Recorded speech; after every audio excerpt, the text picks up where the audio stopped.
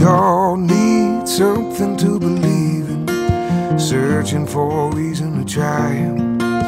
Some for the money, some for love. Most are just afraid to die, and we give all everything we have. Sell our souls for cold hard cash. Are you tired of living? Tired of giving the best you can be to some second-hand